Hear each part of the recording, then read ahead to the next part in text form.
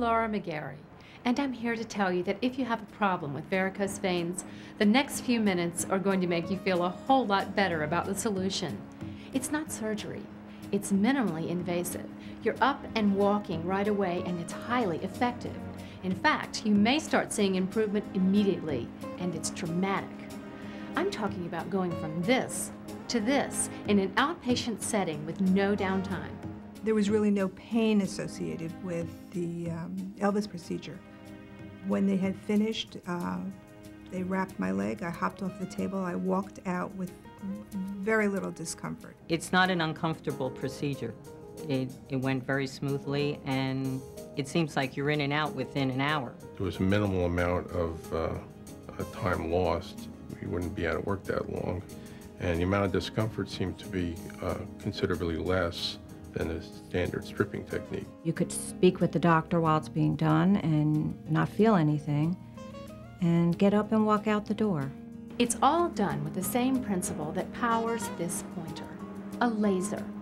In its simplest form, a laser is a highly concentrated beam of light. Medical lasers work by delivering this light energy to the targeted tissue, and they're being used in all kinds of ways, from eye surgery to dermatology. The laser is very safe. I've been using laser for over 10 years in my practice.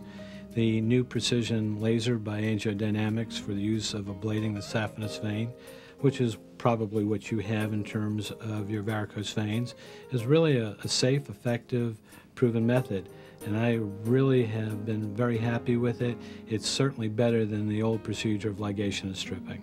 This established, proven laser technology is now being used for the treatment of varicose veins in something called the Endovascular Laser Venous System, or ELVES for short, which allows doctors to perform quick, simple, virtually pain-free procedures like the one you're about to see.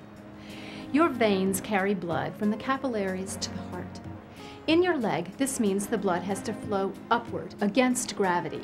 So the veins in your legs have one-way valves called flaps or cusps to prevent the blood from backflowing and pooling. Over time, the valves can fail to close tightly, allowing blood to backflow and causing veins to become engorged. This causes the bulging and twisting that results in painful, unsightly varicose veins. How does the laser fix this problem? Let's find out. The procedure is a very simple procedure. It takes approximately 45 minutes. What I do first to you is that I insert a little needle into your vein around your knee. Then I put a little guide wire into that needle into the vein, which is checked by ultrasound, which is a non-invasive method of determining where it is in location to your vein. That guide wire allows me to pass a little tube up through your vein. Through that tube I will insert a laser fiber, which then I will connect to the machine. After your thigh is essentially numb, then I will activate the laser, and through a slow continuous pullback, I will close your vein. It takes approximately two to three minutes, and you will feel exactly like you did before you came in. Once I've pulled the laser fiber back, the procedure is done, and you can resume activities of daily living thereafter. I had no pain. I didn't have to take any um, pain medication. I think I took a Tylenol, that was it that was about it. And I was up and running. I was at, I definitely was out for dinner that same night. You have no, you know, no signs of the vein anymore. No signs at all. They're gone. And um, that is the best part.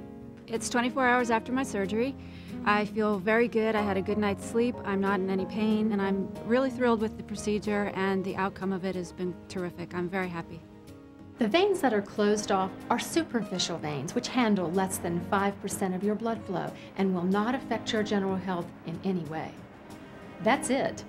The next thing you know, you're up and walking, resuming all normal activities, and having much healthier looking legs to show for it. The bruising was gone, the veins were also gone, and they looked wonderful. I was thrilled with the results, and I would recommend this to anybody. So be assured, you don't have to live with varicose veins, and you don't need surgery to get rid of them. And your insurance may cover it, so speak to your doctor about this exciting new treatment.